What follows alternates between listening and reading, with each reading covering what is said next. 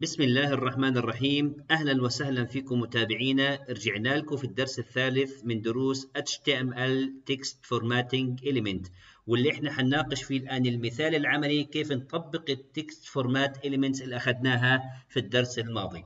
اللي ما كانش معانا في الدرس الماضي في عندنا درسين تحديدا تكلمنا فيهم على ال formatting text في ال HTML بندعوكم إنكم ترجعوا تحضروهم. ممكن تجدوهم في صندوق الوصف في هذا الفيديو. ندخل الآن نتكلم في هذه النقاط الإيه اللي تكلمنا فيها بالماضي وبناخذها واحد واحد. اولا preformatted text هناخده ك pre tag بنيجي الآن نتكلم الآن كفقرة موجود عندي. السؤال اللي بدي اطرحه لما نيجي الآن نعرض كل الموجود هاي الموجود هاي الصفحة اللي أمامنا هاي ال HTML document موجود عندي فيه head بدخل ال body عندي هنا H1 وبعد ال H1 ما في أي شيء ما في أي شيء نص موجود موجود موجود في البادي. نيجي نطلع نشوف هذا النص الموجود على البادي. وين مخزن؟ مخزن على المجلد هنا بنوقف على المجلد اللي هو learn HTML listen for HTML text format. بنيجي نقول learn HTML هايو هنا. الملف هايو نتكلم listen for HTML text format. بنفتحه بنطلع كيف النص الموجود عندي. باختصار شديد هو عبارة عن نص موجود برمي على الشاشة هنا بالإضافة لل H1 هذا النص الآن بدنا نضع عليه ال HTML text formatting. بنيجي بناخدها واحدة واحدة. ناخد الآن كبري إيش البري بتسوي؟ لو إجينا إحنا بدنا نظهر هذه الفقرة كما هي موجودة في التصميم، يعني بدي أخليها مقطوعة عن السابق ومقطوعة عن اللاحق ومش كتلة واحدة، لاحظوا معايا.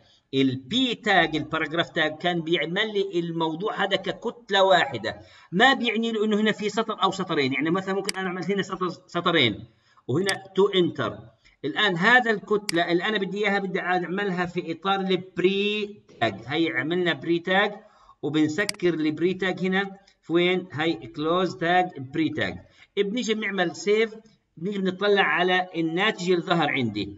بنعمل هنا refresh للصفحة. ضغط enter إيش ظهر عندي؟ أيوه. ظهر عندي ال parag مش ال paragraph عفوا. النص اللي كان موجود عندي وكله كان فوق بعضه وجنب بعضه ظهر عندي كشكله الموجود في إطار التصميم. لو وضعنا هنا enter في النص هينزل برضو enter في النص. لاحظوا معايا لو اجيت أنا هنا في النص اجيت قلت كمان two enter. موجودين هنا وبنعمل save وبنيجي بنطلع هيك. إيش إحنا وضعنا؟ في إطار التصميم حيظهر في إطار التنفيذ. هذا بالنسبة لل pre tag أصبح ال pre tag تعبر عن إنه إحنا بدنا الشكل الموجود في التصميم نفسه يكون موجود في شكل ال implementation أو التنفيذ.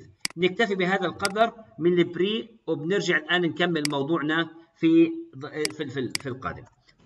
طيب بنيجي الآن بنتكلم عن هذا ال section أنا هنا في عندي section دكتور غزال teach many main topics بدي أعمل له headline 2 أصبح بدي أعمل H 2 ال headline 2 بدنا نقول دكتور غزال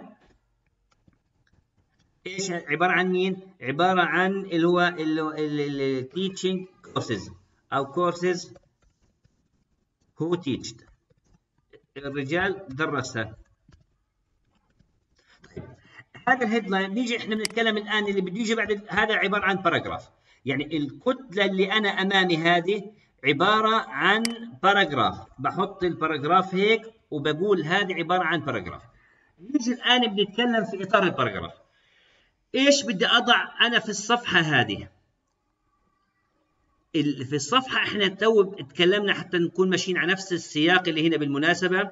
إحنا قلنا فيه horizontal rule فقط أنا نسيت ال horizontal rule بدي أضعه قلنا بعد مثلا هذه بدي أضعها horizontal rule هنا.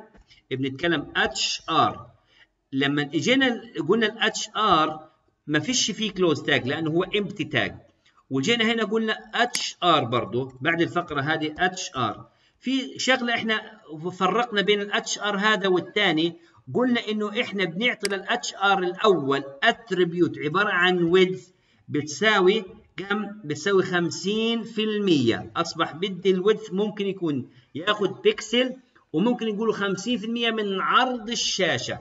قديش عرض الشاشة؟ 1000 بكسل بياخذ 500 بكسل وهكذا. تعال نشوف إيش اللي صار عندي في الاضافات اللي أنا ضفتهم. في ال horizontal rule وكذلك في ال H2 وفي ال paragraph اللي أنا اشتغلتها هنا. إيش الناتج اللي ظهر عندي؟ تعال نشوف الناتج. هاي بنعمل enter وبنعمل refresh. أصبح هاي ال horizontal rule ظهرت عندي ال pre تأكدنا إنه هي كما آه تعلمنا وكما فهمنا طلعت الناتج. شفنا ال H2 اللي وضعناه في النص وكان هذا هو ال H2 اللي في النص. بندخل الآن كيف نشتغل ال text formatting على كل كلمة أو كل جملة إحنا بدنا نعبر عنها بإطارها اللي المطلوب. بنيجي نتكلم الآن. بدنا نستخدم ال bold وال important text حتى نميز بين التنتين. لاحظوا معايا. ال bold لو اجينا إحنا عند دكتور غزال وقلنا دكتور غزال بياخذ bold وبنسكر الدكتور غزال ك bold بنيجي في نفس اللحظة حتى نشوف الفرق بين التنتين. عند computer science بدي أقول strong هاي strong عند computer science حتى نشوف الفرق بين التنتين. هاي computer science بنيجي عندي هنا إيش؟ strong بنسكر ال strong نيجي نطلع نشوف إيش الفرق بين التنتين. الدكتور غزال أخذ خط عريض. وال computer science أخذت خط عريض. الفرق بين دكتور غزال لما حطيت له ال bold وبين ال computer science إنه ال bold بيدي خط عريض للوجه اللي بده يشوفها المستخدم فقط بدون اي أي اعتبارات. أما ال strong بتظهر خط عريض على الشاشة الخارجية بالإضافة انها تعطي قوة معنى في وين؟ في ال semantic يعني لما نيجي نقارن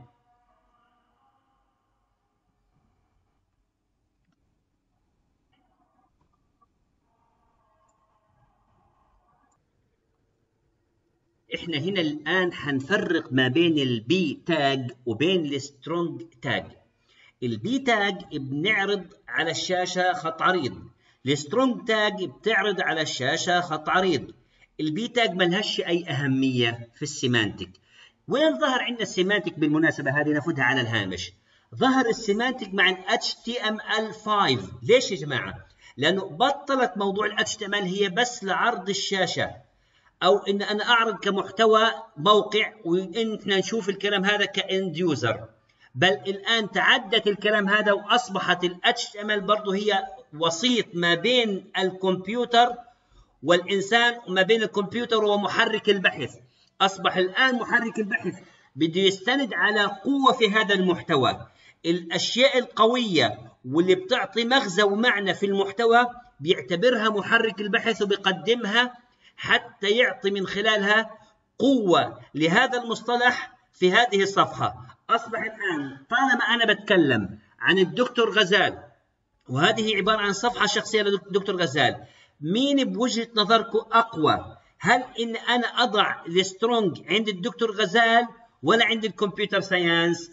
إذا أنا بدي أبرز الدكتور غزال وأعطي الكلمة هذه تحديد الكلمة المفتاحية بنسميها ال keywords هذه دكتور غزال أعطيها قوة في هذا المستند. أصبح يجب أني أنا أضع strong وين عند الدكتور غزال وال bold بحطها في الأقل أهمية أو في المكان اللي ملوش اعتبار عندي كما الأشياء اللي لها اعتبار. بنرجع هنا بنتكلم أصبح الآن بتكلم هذه بضع هنا ال strong أوكي؟ ولو أنا بدي أكمل على ال computer science أضع لها خط عريض باختصار شديد بديها ال bold لأنه ما لهاش اعتبار عندي ككلمة مفتاحية بدي أحجز لها اعتبار في هذه الصفحة. ممكن أنا هذه بس أبرز لها اللي هو ال design تظهر عندي كخط عريض وال IT نفس القصة ممكن إياها بديها خط عريض هاي أديها إيش؟ أديها bold كخط عريض بدون أي اعتبارات أخرى. طيب هيك أنا خلصت الفرق بين ال strong وبين ال bold بنيجي الآن بنتكلم عن شغلة ثانية. شغلة بدي مش حأقفز عن ال outline نرجع لل outline نيجي على ال i اللي هو ال italic text وال emphasize text لو إجينا تكلمنا فيهم اليوم واستكفينا ممكن نستكفي ونوقف الدرس تبعنا. الفرق بين ال i وال emphasize التنين بيعطي نفس المعنى أو مش نفس المعنى نفس المخرج نفس ال outcome بنيجي نقول لو أنا الآن بدي أعمل تعزيز لكلمة معينة ال emphasize الآن هذه هي عبارة عن عملية تعزيز وبالذات وين؟ في في في في, في النطق.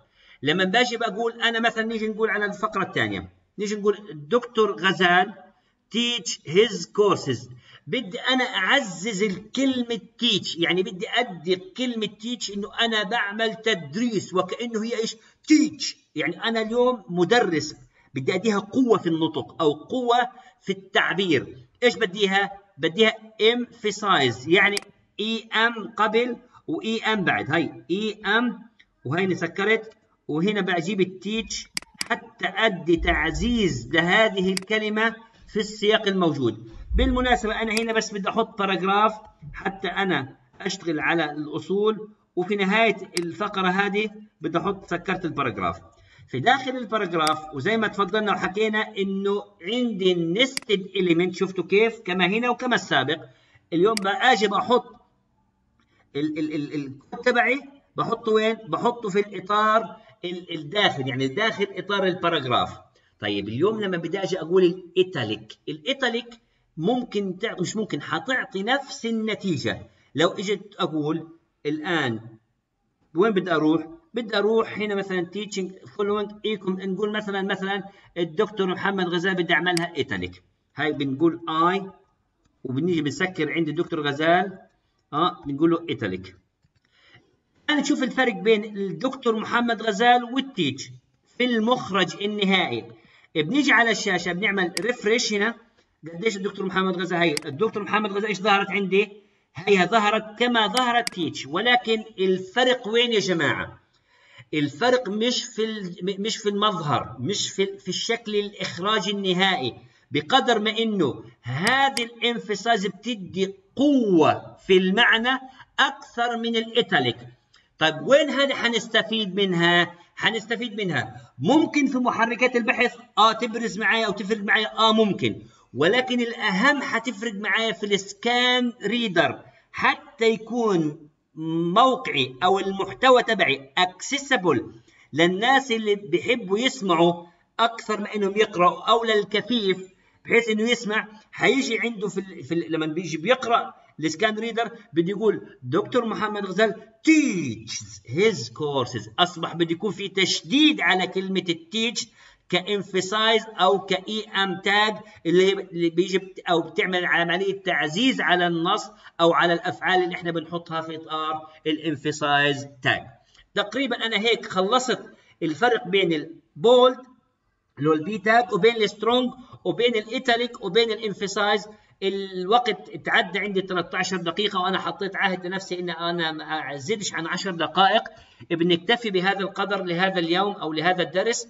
انتظرونا في الدرس القادم إن شاء الله حتى نكمل مشوارنا في باقي ال HTML format اللي هي في داخل هذه المنيو أو داخل هذه ال outline سجلوا ال outline معنا طبقوا اللي اشتغلناه على أرض الواقع.